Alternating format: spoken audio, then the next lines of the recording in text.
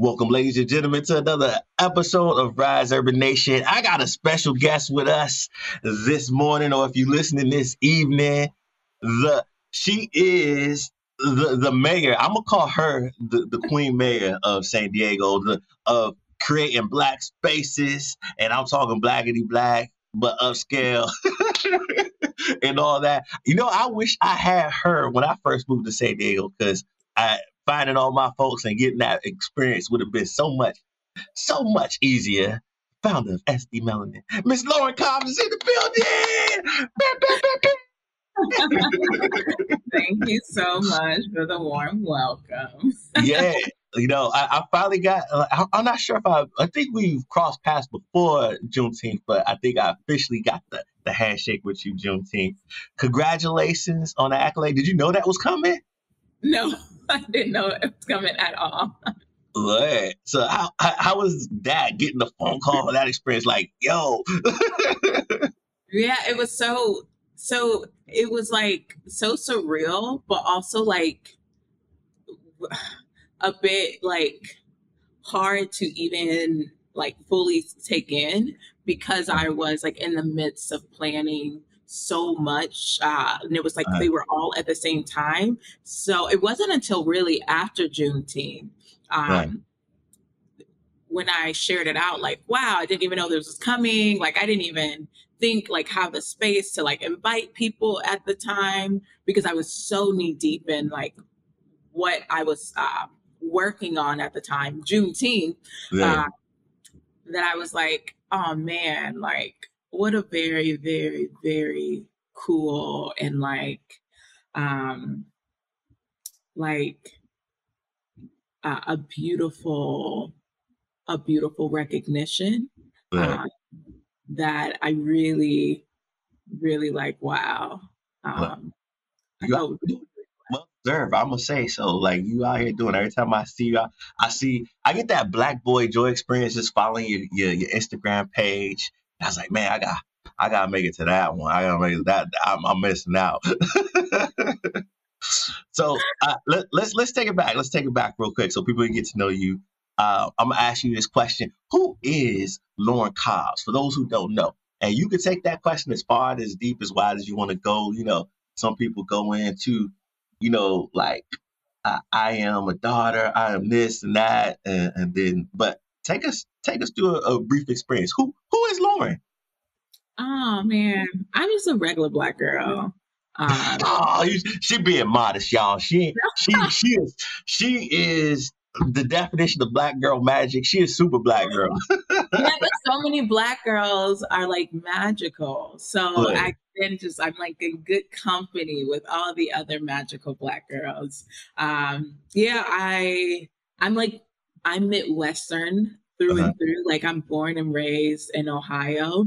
Um, I'm the youngest of five kids, and that like that shapes everything that I do. Mm. Like my mm. um, being from Ohio, being from the families that I come from, being the mm-hmm. youngest of five, um, it really just like it shapes how I navigate the world. And I'm an avid reader. Um, mm-hmm. So I've been I've been like a library kid all my life. Uh, I have a library card now. I have books on hold that I got to go pick up right now. and and I think like that, like coupling the experiences that I got to learn about through books and through the library and like my own lived experiences coming from Ohio. I come from a um, economically disadvantaged household. Um, uh-huh. But it was so rich. Like I didn't know we were poor until yeah. way later. Like almost when I was filling out my FAFSA for undergrad, and I was like, oh wait. um, because I had a really, really, for most of my childhood, I had a really rich childhood. Um, mm is like a crazy mama, but she's so. Can you cuss on this? I just yeah. need to know. Go okay, because I be cussing a lot. Trust me, you like you ain't the first, and you ain't gonna be the last. um. So yeah, my mom was just like, despite she was 25 and had five kids, all right. like under the age of 7 uh-huh. So like she was, um, her and my dad, like really, I don't know what they were doing to having so many kids.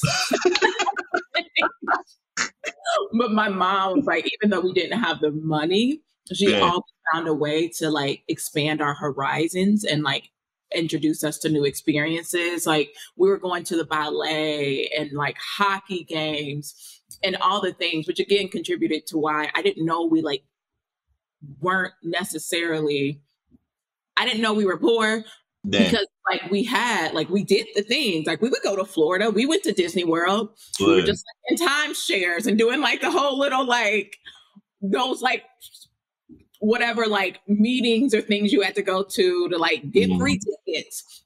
Uh-huh. But um my parents and especially my mom, like they they were just like very, you know, bulldog isn't that I feel like I don't know if that they were very like committed to making sure we had really rich experiences. But I love that. I love that. I was just talking about that with some friends uh just yesterday and we was talking about like how different our kids experience my experience like man I I, I didn't I didn't hop on a plane until like I was 18. And my, my child hopping on a plane at six months to go to Hawaii. Like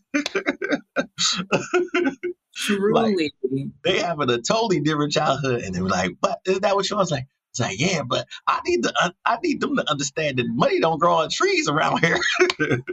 like honestly, honestly, like we just we drove to Florida. It was like twelve hours. Like we just we drove everywhere. There was no family trips on planes.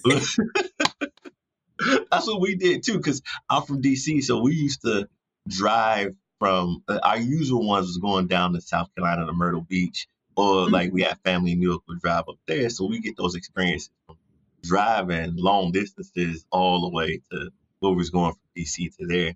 And then we, we had the luxury of having Virginia and Maryland close by, so like they yeah. can go to uh-huh. neighboring states and we're in a different area and then we feel like we're on vacation. So I, I get what you're saying. Like they curated these experiences and and it, it really helped shape our, our, lens of not feeling poor like we had until, you know, you got around people who really had it like that.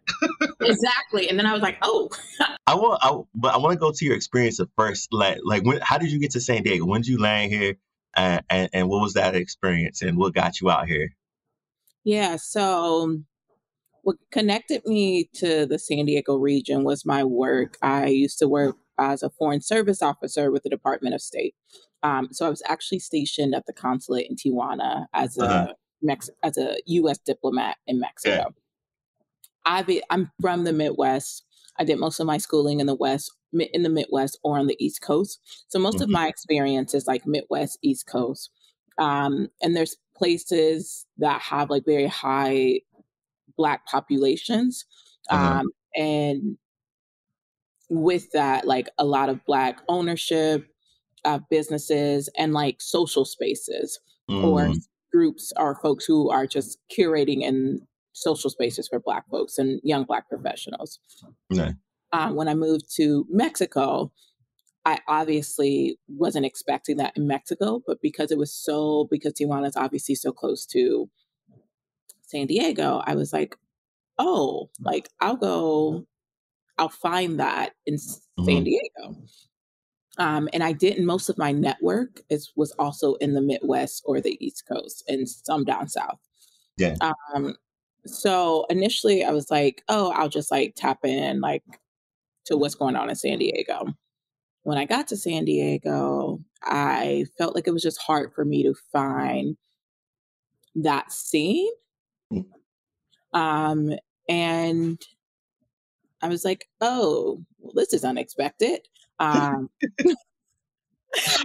you know, I'm laughing because that was so imagine I'm coming from DC, Chocolate City, and I moved to San Diego. I hop off the plane. I look around. I look to my left, look to my right. Hey, where all the black people at?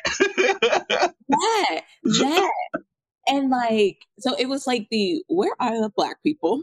And then it was like, why?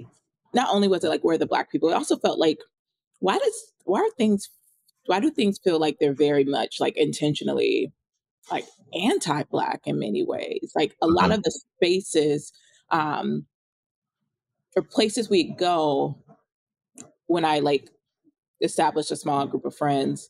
Um, some of them were like very nice and chill. It was cool, um, mm-hmm. and it it was like oh we're we were welcome there but it was obvious that like that wasn't our space like it wasn't mm-hmm. curated for us like we weren't the target audience per se but like people were very nice and it was chill and then there were other places specifically pb um, and it was that were like very much like, oh, like they don't want people like us here. But um, and if and if we are going to be here, like they want us to engage or present in a certain type of way. Mm. Uh, and it was frustrating because I felt like PB was like the only kind of place that we're even doing like daytime events or parties at the time. So this was like I moved in 2016. Right. Um, and I was like, oh, like it's parties and like social things to do out here. Um, right. but it's not like kick it, kick it. And I'm in my mid to late 20s. So I'm still like trying to kick it. Um, so and and I mentioned before that I didn't have a network. Um, so I'm like also trying to just find people. Uh, mm-hmm. And I was connecting with folks in Mexico. Um, but you know, there's just so many layers and things, right? You have the language barrier. I speak Spanish, but I don't speak like a native, and they yeah. obviously know that, like, I'm not Mexican.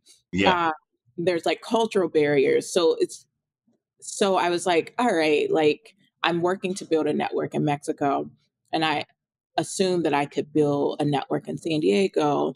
Um, and it's harder. And I would meet other Black folks and they'd be like, yeah, it's hard for me too. Like, oh, we all trying to figure it out. Um, and because I specifically worked at a consulate and in a role where you can't take much of your work home um, mm-hmm. because of the nature of it. And then the consulate at the time didn't wasn't really set up for after work work.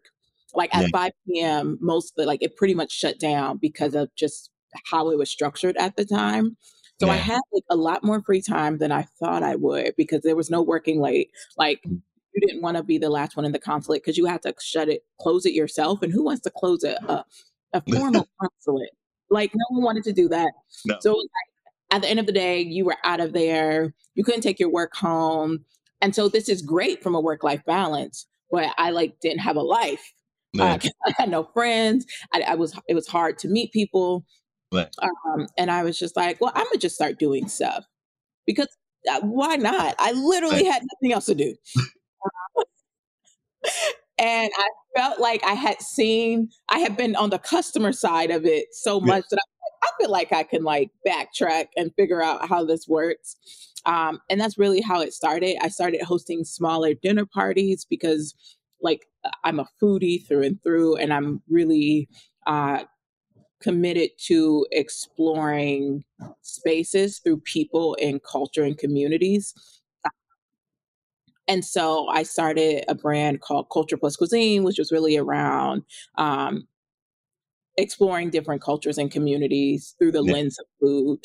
Um, and that honestly, thank you. I love that. I love doing that. Um, I, I, I love it. So my sister's always like, you need to do that again. Like, you need to start doing those again. So I, am thinking about bringing those back uh, in a Rise Urban Nation. You heard it here first. I got on record. Uh, so next time you see in these streets, be like, yo, I heard you say. yeah, I would love to bring those back in a real way. Um, but those really help me to learn a bit more about just like organizing experiences yeah. um, and like the business behind it. Um, and so finally, when I got to the point, I remember I was, there were two things, experiences that like really pushed me over the top uh-huh. to like want to start SD Melanin. The first was I went out to brunch with like a group of black girls who like we literally met because it was like, oh, I saw you somewhere, or I met like I have a friend who's a black girl who's looking for community. You have a friend who's a black girl, and it was just like a bunch of girls were like, we're all looking for this. And most of us didn't really know each other. We just had brunch yeah. one day and it was like super beautiful. It was probably like 12, 15 of us. Um, and we're like, oh, like we had brunch. We went to PB because we're like, oh, they do this like daytime party. Uh, and we got there and they were like, it was a Sunday and it was this big, massive club um, or bar space. Um, and it was beautiful and it was great vibes in general. Um, but they were like, we requested a Drake song, and like Drake is just very like he's not NWA, like but, isn't like like he's very pop rap. Yeah. We're like, oh, we don't play rap on Sundays. They play they play Drake at Target on Sundays. like so many skews. So many skews. like I was like, you don't play rap, like the whole genre. You just X out the genre on Sunday. That makes sense.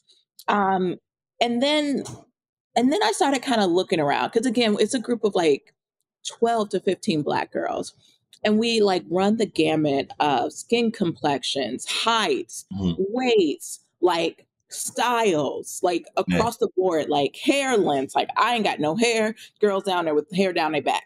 Like and like I started looking at how like no one in the space like was mm-hmm. actually looking, not looking at us like, oh, I'm gonna, but like it felt like we were invisible.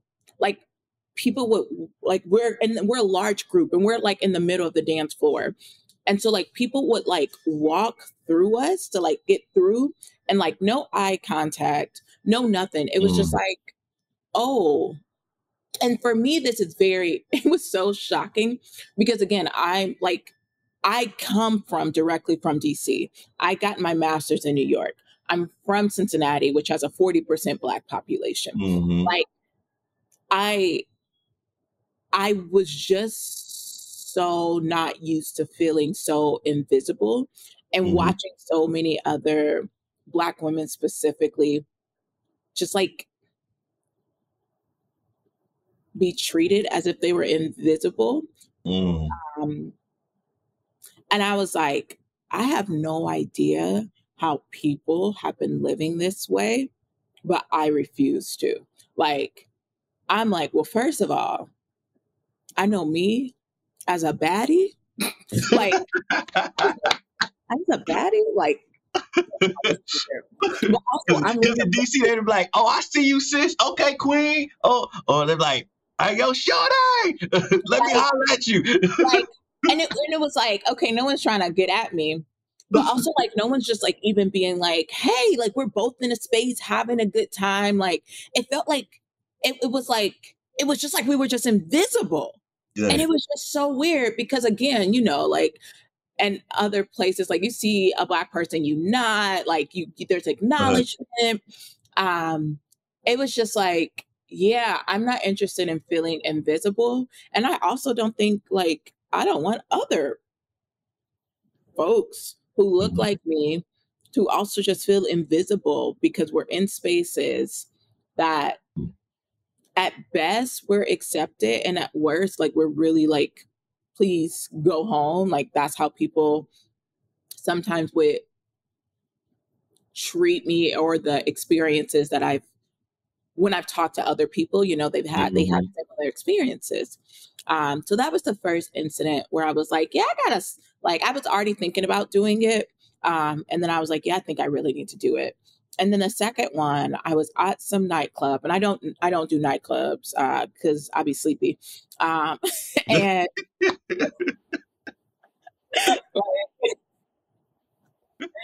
I'll be like, man, I gotta I, I gotta go to bed.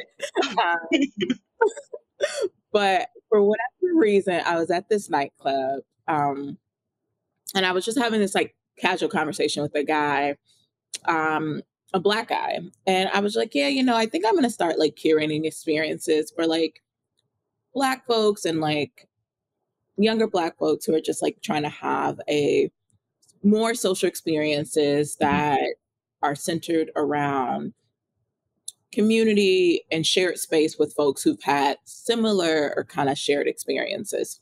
Yeah. And he was like, and it was so funny because it's like black guy with locks. And I'm like thinking, like, you, you like, you gonna get this. Like, you, you must understand. Like, because he's like, yeah, I've lived here for a while. And then he goes, after I said, like, yeah, you know, I think I'm gonna start curating experiences that center black folks or center young black folks or whatever. And he was like, yeah, well, like, you know, usually when you start doing well here, like you, you like, you go hang out with white people. And he didn't say it ironically. It wasn't like, yeah, well, you know what times, you know, sometimes what happens is, you know, people do start. He was just like, yeah, no, that's what we do. That's what you're supposed to do. And I was yeah. shocked because I was like, what? I've never, like, sure, it's perfectly fine to hang out with white folks, to have all different types of folks in your network right. uh, and your friend groups. But to associate upward mobility with a whitening of your community to me was just really sad. it was been in San Diego too long. yeah. And I was just like, because first of all, you think that like you can't have friends who aren't white and doing well. That's the mm-hmm. first part.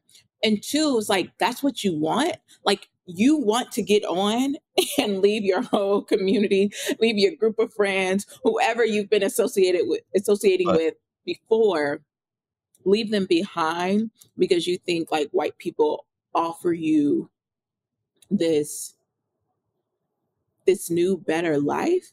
Nah. Right. That, that's that's crazy to me. You know because and, and and i think it's because me you both come from experiences like ohio and, and, and dc and so you see the gamut of black all across the board you from you know you, you see those who are in the trenches that that struggling and and may have got caught up in lifestyles and, and things that we don't do. Do you got a middle class black? Do you got an upper echelon uh, class of black folks? And then some of, depending on it, uh, I, I'm not going to say everybody intermingles in DC, but you know, then we see it more than we see it here, and so it, it, it's something that's normal for us. Mm-hmm. And and I think sometimes people who've been in San Diego longer or born and raised in San Diego, they don't get to see things like that. So that's not the norm to them. And I'm not faulting them or anything. I'm just that that's just my perspective. Like they don't they don't get to see how that plays out 100%. in different yeah.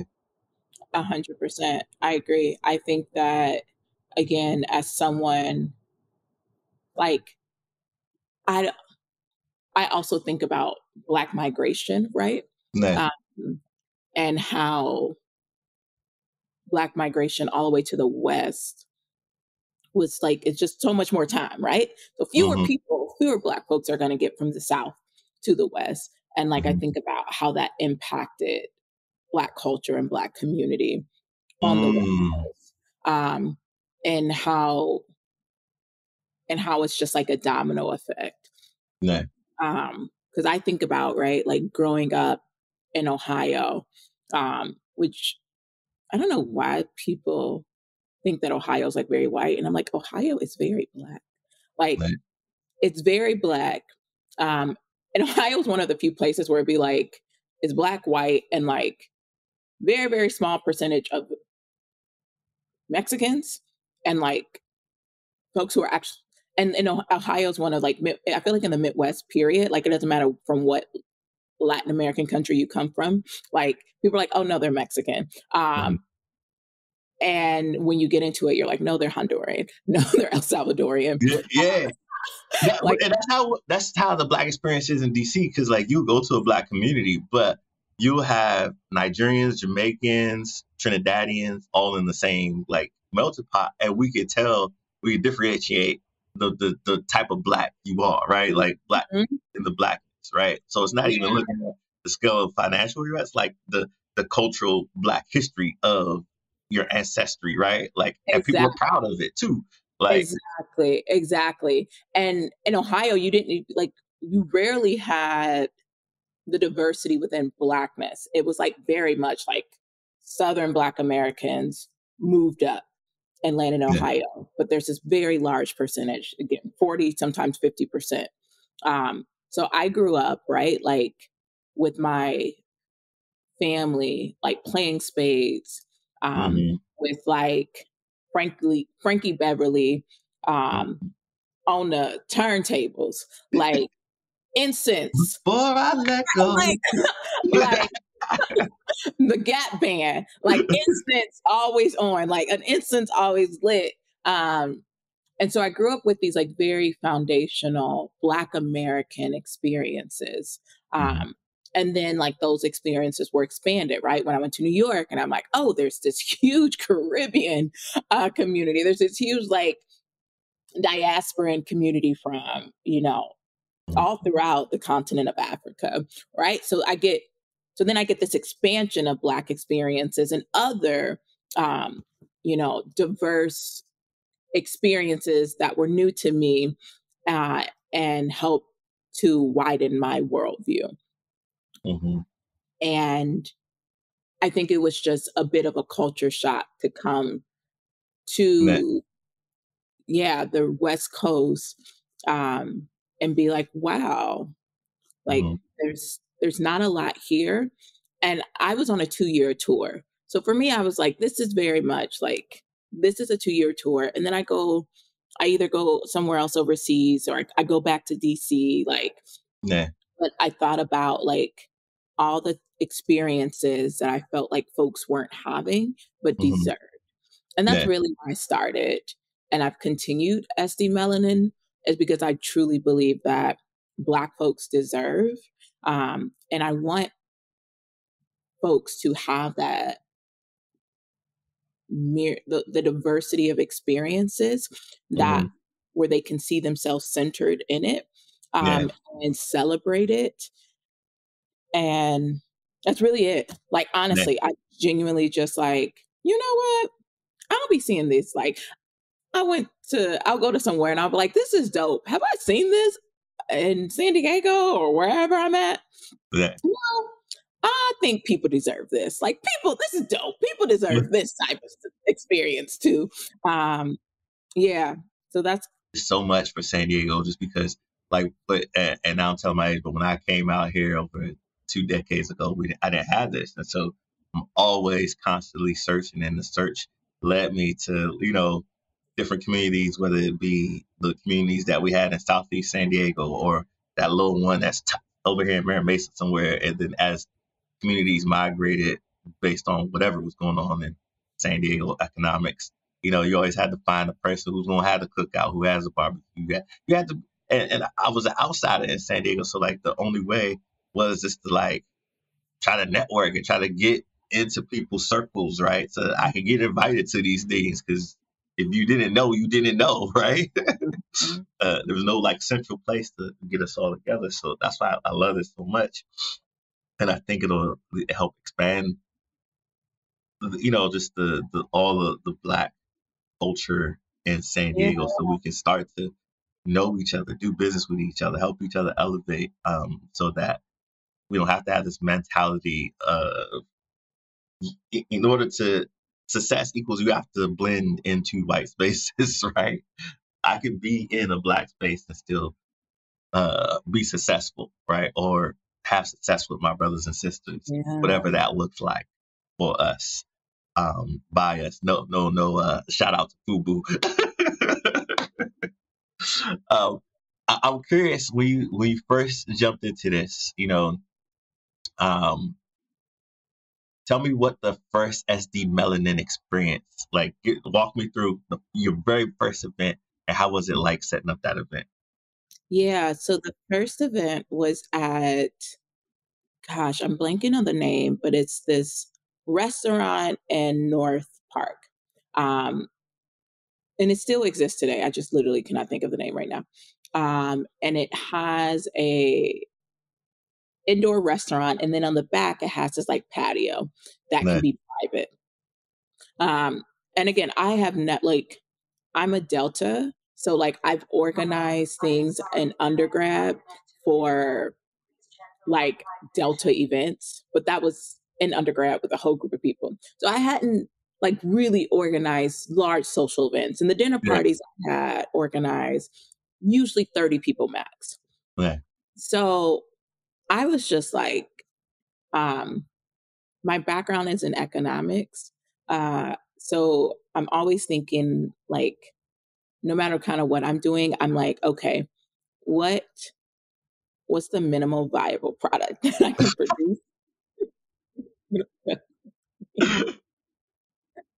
okay, she about her business, y'all. You can see this is a businesswoman. so I was like, what can I do and do it well? Because again, I didn't have a lot of friends. Um, I every all of my friends at that point I met like three months prior or six right. months prior. Right. Um, so I'm like, I don't have a staff of people um who can like help me run this or like i like i don't know djs like i was not like i'm not a nightlife person like i was not like i wasn't like connected and plugged in with nobody um so i was like okay um where can so I, I i was like oh like black people like to be in the sun like we want to be so I was like, let's do something outside. So I was like, okay, I found a patio. And I was like, can I control the music back here? And they're like, yeah, sure. So I was like, bet. Like, I'm gonna just put a playlist on of like music that I know like is gonna be like vibey, like hip hop, R and B, a little new school, old school. But. Put that on playlist. And then I was just like, can like brunch was such a big thing. Um, in DC, brunch was so big. And even like in a, and I felt like at that time, like uh. the brunch party was just like at its peak. Um, and New York, all of so I was like, oh, we should like it should it has to be a brunch. It has to be a brunch. Um, and so, but again, I'm not cooking, and I don't. I was like, let's just make sure we can have a brunch menu. And the restaurant was like, sure. Um, and I was like, and you'll put a bartender in the back for us exclusively so we can feel like we have an exclusive space. They're like, yeah, they were like mad open. And so I was like, okay, we have it. Like we have, if you want liquor or mimosas, like you you can do it.